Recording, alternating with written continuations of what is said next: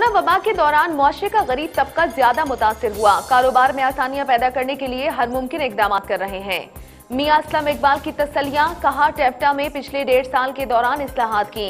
पैंतालीस फ़ीसद इंडस्ट्रीज़ को भी नेगेटिव से लाकर पॉजिटिव में लेकर जाएँगे।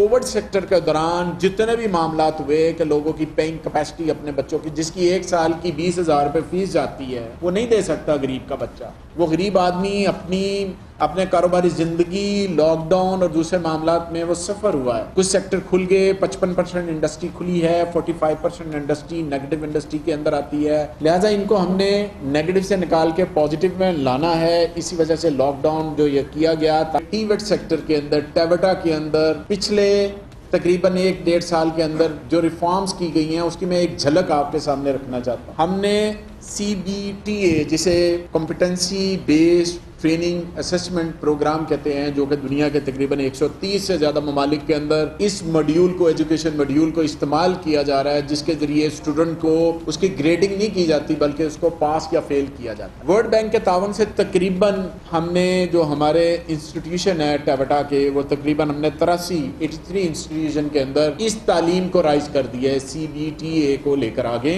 इसके लिए ऑब्वियसली हमें लैब्स की ज़रूरत है, दूसरे मामला की ज़रूरत है। तो वो वर्ल्ड बैंक के ताउन के साथ किया गया है।